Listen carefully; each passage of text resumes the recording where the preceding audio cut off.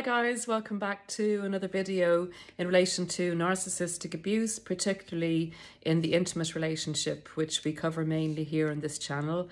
Welcome to anyone that's new to the channel. You are so welcome here to this army of people who believe in light, who believe in other people, who believe in humanity, who wish to expose the darkness so that it does not succeed in taking any more of our fellow army soldiers down. So I believe once we understand what we were dealing with, we can then heal. We can then focus on ourselves, bring the focus back to ourselves, rediscover who we are, and flourish and at that point, when you do that, when you do those two things, one, understand what you were dealing with in the narcissistic individual, and two, focus on yourself, self care, and healing, the narcissist has lost. It's as simple as that. So, here's another video in understanding what a narcissistic personality disordered person does, is, behaves, thinks, in order for you to validate your experience and what you've been through and move forward. So, guys, we were doing a series on the new supply, which is a very, very difficult um, part of the abuse cycle to accept where the narcissist, your your partner, your intimate partner, first of all, you know, leaves you or is cheating on you uh, at the drop of a hat with no prior warning, and then secondly, belts you, you know, over the head with their new supply. I kind of have this picture of this, um, you know, blow up doll model of the new supply and the narcissist going, you know, right over your head.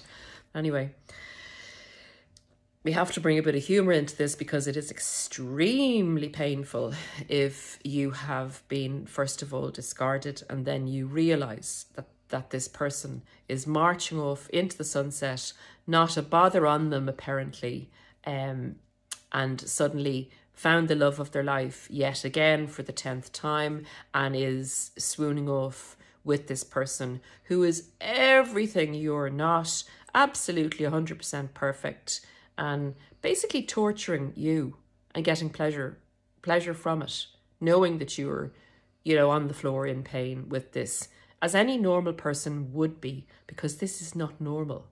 This isn't normal.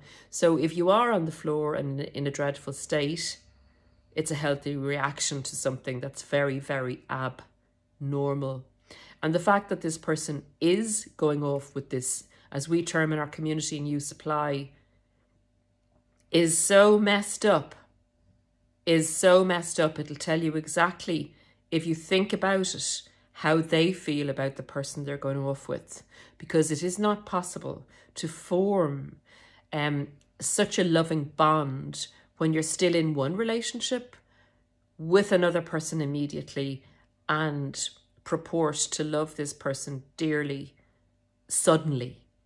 So if you can kind of see behind the smoke screen and mirrors and analyze it, you will understand that the narcissist is not capable of love, which may help, it should help in your healing once you get rid of the cognitive dissonance, once you get out from under the narcissist spell. And some people actually find it like that.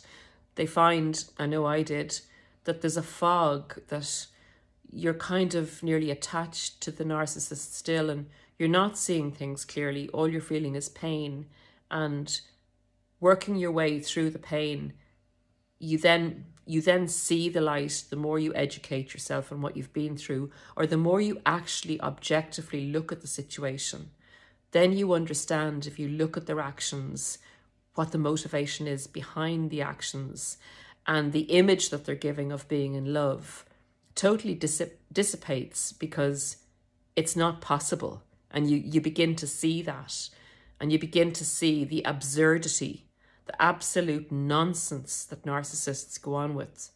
And the only way it's valid is if you make it valid by believing in it. Otherwise, it, it's apparent to everyone else. It's just you giving it the validity gives them the the truth or gives them the kind of the belief that they do exist and that what they're doing is actually true. So the power all lies with you. And you will get to that point when you understand that fully. And it's very validating and it's very empowering too to know that you've actually totally won if there's any kind of battle going on between you feeling very rejected by the narcissist and abused. Anyway, to get back to the subject of the video, we're dealing with the new supply, and this video is going to cover the narcissist meeting another narcissist.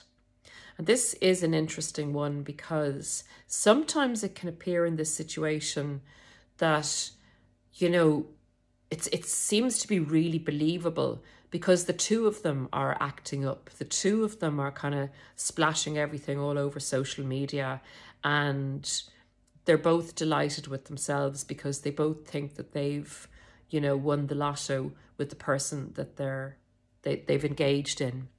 So narcissists can fool each other initially because they both love bomb very well. It takes them a while to actually understand that the other person isn't susceptible to the testing when they start testing after the love bombing stage to see how much the other person is hooked. The other person doesn't react, the other narcissist doesn't react like an empath would. The other narcissist is more curious because remember, they haven't attached to the, the partner. So they're not as they're not emotionally invested in this. This is a very, very transactional relationship between two narcissists. So they won't lose control by giving in to the push pull. You know, when the narcissist kind of pulls away from you or gives you a silent treatment or disappears for half a day without contacting you where they've been in total contact all the time with you before and you begin to start to wonder why this sudden change of behavior the other narcissist won't react to that because they don't want to lose control and show the other person that it's actually worrying them at all so it's a very kind of gamey kind of thing. And the other, the narcissists each do this to each other and kind of realize, hmm, this one isn't as easy to control as the others were. What's going on here? And they get a good sense that the other person is really copped on to them.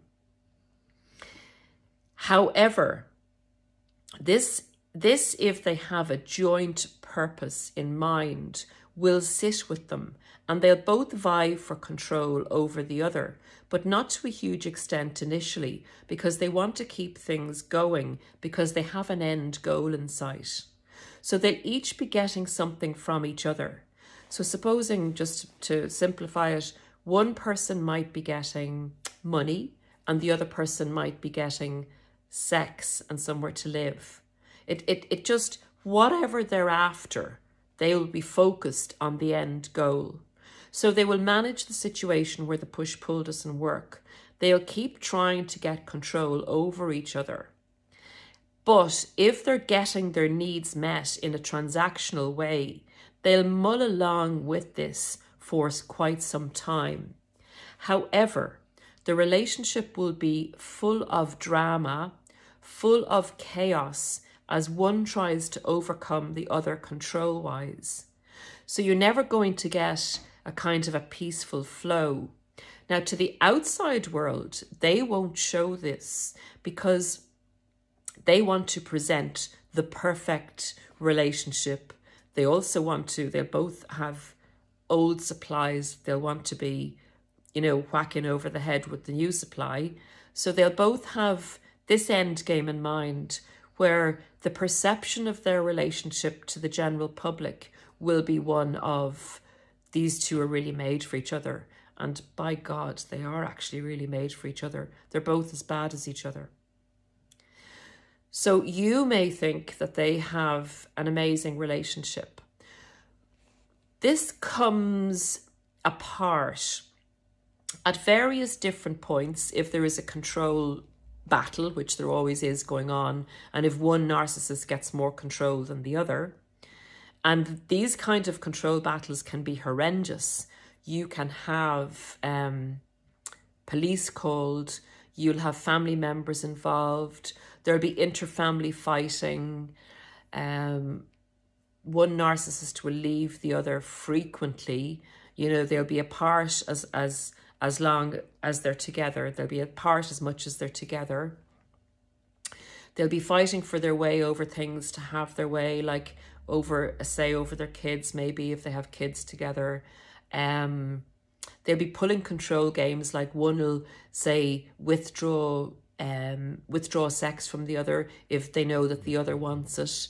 Uh they'll use money, they'll use whatever they need to. So all this is going on as in a mishmash of a dreadful relationship at home, but you won't see it. So just believe, believe when the outcome comes that they were with a narcissist, and I'm going to get to that now.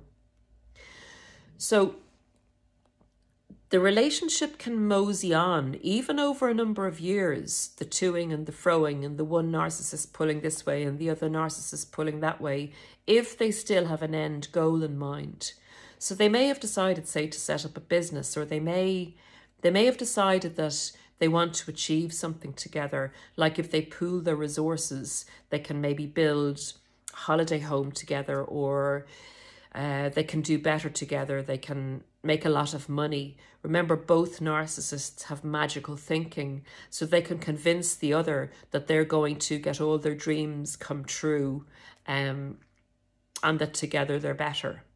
So, so despite the battles and the dramas and everything, they will have this focus in mind, which will keep them together.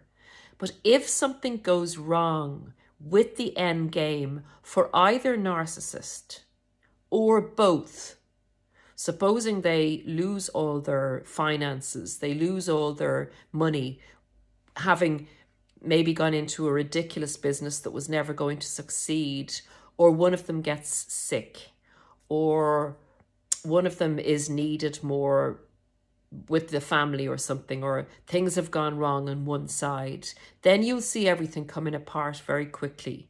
There's no like, I'll support you in this, or, I, you know, I'll stick with you. This isn't a normal human relationship. This is a business arrangement, a transactional relationship. So, what then, Paula, if something doesn't go wrong and they're going on five or six years and they seem to be making progress in amongst the chaos. They may come to a point where they will decide, and you often see this in more famous kind of coupledoms, narc coupledoms, where they're making progress in their lives together and it's better for them to stay together as a couple, perception wise, maybe in the world of politics or business, or they're both getting their needs met very, very well by this partner. For instance, maybe one of them, maybe the husband or the wife is very rich and this is very important to the other person, this um, way of life. And maybe the husband or the wife, it's very important that they're with somebody who's good with other people, who supports them in their career um, for their own gains, but is a good person to have as a partner or is very good looking. There'll always be a tip and a toe, if you know what I mean. There'll always be, it has to be beneficial to the other at the same level. If they decide that it would be less beneficial to separate, then they will live separate lives together. So they'll both have, you know, it'll be like an open marriage. They will both be getting their kicks or their other supplies or whatever they need that they're not getting from the narcissistic partner, they'll be getting it elsewhere. So, in both scenarios, it's a really, really dysfunctional, quite dark relationship. And narcissists, if, if this isn't the long term beneficial relationship and they're having, eh, you know, separate lives, and they do break up where one narcissist isn't able to keep their end of the bargain in their relationship, it will be a horrendous breakup because they'll both be battling against each other to gain control of the breakup and then to punish each other for it not working out. Uh, they'll feel extremely, extremely um, disgusted at the other person not keeping their end of the deal because they know, they know that this other person is like them. And so they look at other people all in their own right, but they look at empathic human people and, you know, they're suspicious of them. But when they come across another narcissist, they know for sure that this person is exactly like them, has cannot be trusted. They've a fair idea they can nearly sniff another narcissist out, but they've decided that they'll stay with them because it's beneficial. They know quite quickly that they're with another narcissist. So they will be doing their damnedest to protect themselves against this person, gain control over them, and give them a terrible, you know, a terrible time. And post breakup, and this can go on for years. They will hate the guts of this other person for years, and they'll always be, you know, emailing each other or contacting each other or trying to destroy the other's life. Like if one narcissist has moved on to a good situation and the other narcissist sees it, they'll try and do their best to interfere and knock it down and break it down. So they're fairly vicious demons here going on in the battle of the demons uh, post the breakup it's pretty dire. There will often and nearly always be police involved, either in the, the pre breakup stages or in the breakup stage. Um, the law is often called in, and you know, one narcissist will try and use the law to beat the other narcissist down or to interfere with their new relationships. They'll often try and not give the other person, say, hide money, not give the other person what they're entitled to, drag them through court situations. Um, they'll they'll just it's just horrible. It's horrible what they get up to. They will go to great lengths to try to destroy the other person. But the funny thing is, after this has kind of settled down, and they get into new relationships with other people. If those relationships don't work out, or if one, you know, if one, say, narcissist ends up destroying the other narcissist's relationship, they kind of come back together in a certain type of way because they have this type of respect for each other because they respect um, transactions. They respect someone who they feel is copped on to other people. They respect someone who is hard, who doesn't kind of care. They know that there's no empathy there, and this other person will do whatever they have to do to get their own way and to make sure they're looked after themselves. And because that's who they are, they kind of respect that. They have a respect for the other narcissist. They don't want anything to do with them anymore. But if one of one narcissist ends up in the middle of the ocean with no raft, the other narcissist will often paddle by and say, Hey, jump up here, Jimmy, for a while and I'll give you a ride to the shore. It's kind of like they'll back each other up if there's something in it for them still. So if they feel there's a gain to be had, they'll narc about with the other narcissist for a while, intermittently, you know, between supplies and stuff because they kind of have this understanding, non spoken understanding, that they know how to live life best. And all the other Eejits out there, Eejits is an Irish word, by the way, it's not complimentary. So it's um it's it's the Irish for idiot, actually. I don't know if any of you guys use it, but I just thought I'd throw it in there. Um, it kind of is a good description of how the narcissist sees human beings and empathic people. They really think we're stupid where nothing could be further from the truth. None of none of you guys are stupid. I'm not stupid. We're highly intelligent people who got sucked in um, because we were emotionally vulnerable or at a vulnerable time and didn't understand that there are these type of disordered people out there. So I digress again, guys, going back to the narcissist on narcissist action. It is chaotic. it's dark. It's all about image perception when they're together.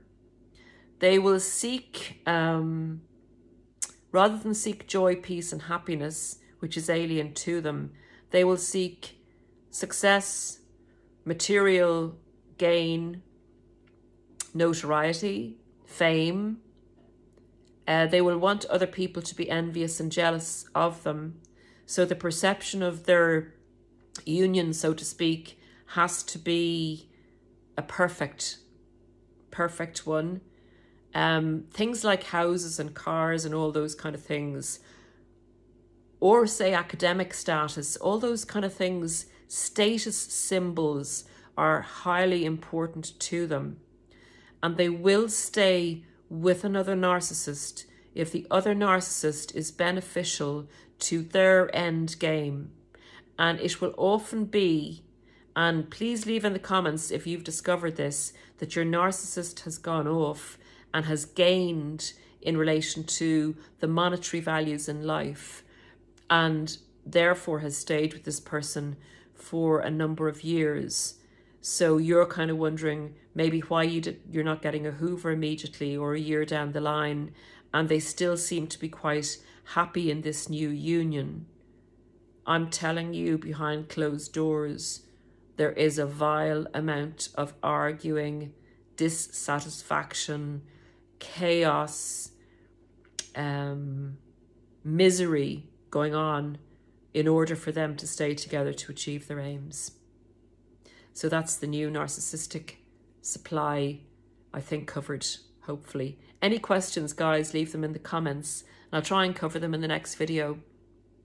So we'll stick with the series on the new supply. We'll do another video on the new supply. And if there's anything you want covered in the next video, please leave that down in the comments and I will try and cover it in the next video on the new supply. In the meantime, stay safe, stay warm. We've had storms here in Ireland, really bad storms. It was called a weather bomb actually. So we're just recovering from that. And yeah, it's that time of year, isn't it? So wherever you are in the world, stay safe, get ready for Christmas if you're going to celebrate that um, festivity.